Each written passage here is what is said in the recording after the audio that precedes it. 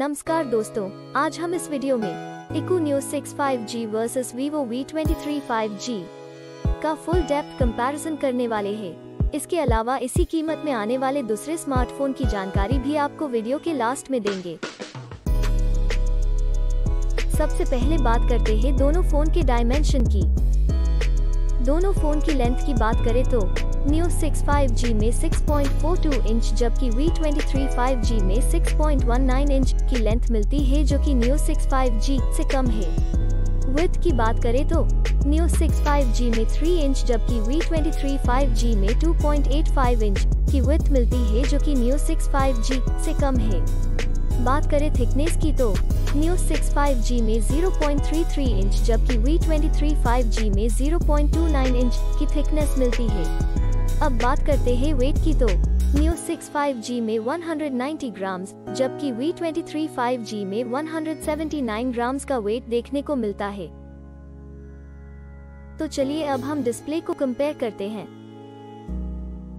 Display type की बात करें तो दोनों फ़ोन में सेम ही। AMOLED की डिस्प्ले मिलती है। एस्पेक्ट रेशियो दोनों फ़ोन में सेम ही। 20 रेशियो 9 मिलता है।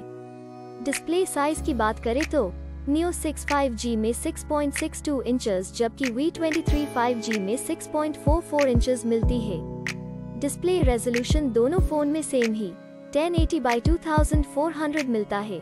Screen to body ratio Neo 65G में पिचासी दशमलव तीन प्रतिशत, जबकि V23 5G में सतासी दशमलव नौ आठ प्रतिशत मिलता है। बात करें PPI डेंसिटी की तो। न्यू 65G में तीन सौ अठानवे पिक्सल प्रति इंच जबकि V23 5G में 409 पिक्सल प्रति इंच मिलती है। अब देखते हैं डिस्प्ले के अन्य फीचर्स यानी विशेषताएँ की, जो कि मोबाइल फ़ोन का महत्वपूर्ण हिस्सा है। अब बात करते हैं सबके पसंदीदा फीचर्स कैमरा की। दोस्तों, सबसे पहले बात करें मैन कैमरा की तो। न्यू 65G में तीन कैमरा देखने को मिलता है। जिसमें कि primary camera ultra wide angle camera और आखिर में मैक्रो कैमरा देखने को मिलता है।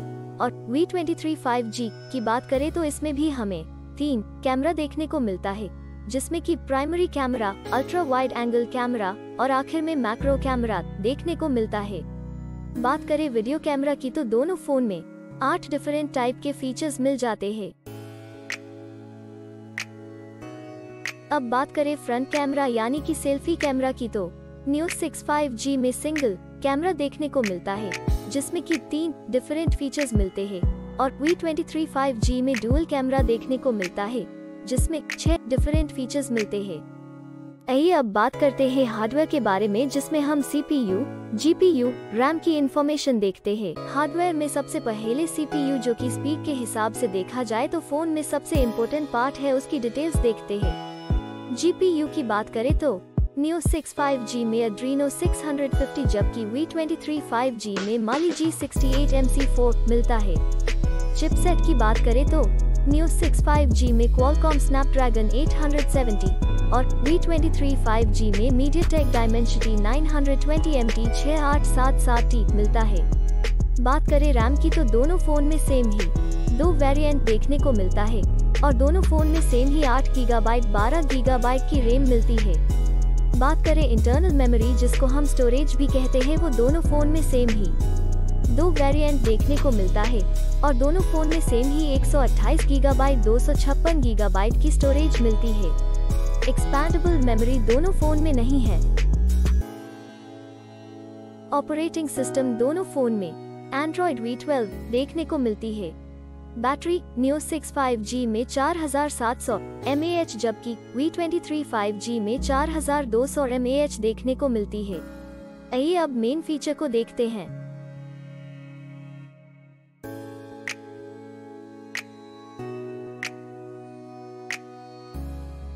कलर्स की बात करें तो दोनों फ़ोन में सेम ही।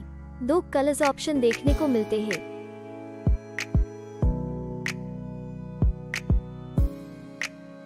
सब इन्फॉर्मेशन देखने के बाद बात करें प्राइस की तो।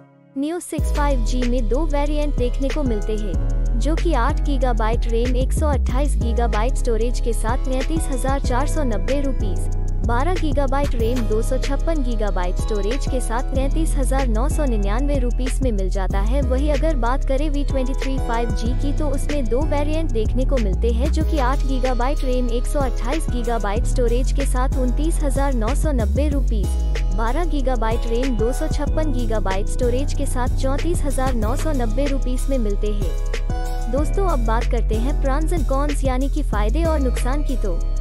IQOO Neo six five G में छह फ़ायदे और दो नुकसान देखने को मिलता है। जबकि बात करें Vivo V twenty three five G की तो उसमें छह फ़ायदे और सात नुकसान देखने को मिलता है।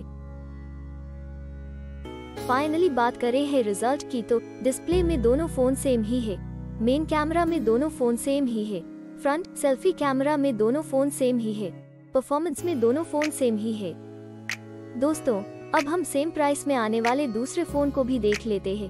पहले कॉम्पिटिटर फ़ोन की बात करें तो उसमें Vivo X60 है, दूसरा Xiaomi Mi 11X Pro 5G है, तीसरा Google Pixel 6 5G है और लास्ट कॉम्पिटिटर फ़ोन की बात करें तो उसमें Eco Z5 5G है। और ये सारे फ़ोन की डिटेल्स आपको डिस्क्रिप्शन में मिल जाएगी। दोस्तों, अगर आपको ये वीडियो अच्छा लगा है या आपके किसी भी काम में आया है तो प्लीज़ लाइक करना मत भूलना।